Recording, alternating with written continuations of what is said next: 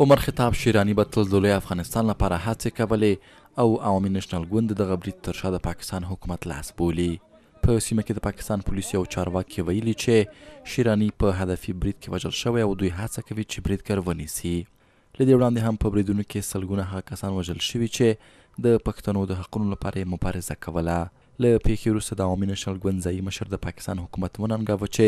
د دوی له قاتلینو ساتنه کوي. عمر خطاب خان کی شهادت الیکشن سے د عمر خطاب شهادت لویه پیښه ده. خیبر پښتونخوا عوامي نېشنل ګوند چې څومره جنازې پورته کړي بل چا نه دي لیدلي. له حکومت مو پوښتنه دا ده چې عوامي نېشنل ګوند به تر څه وخته دا جنازې پورته کوي؟ تر څه وخته به حکومت زموږ قاتلینو ته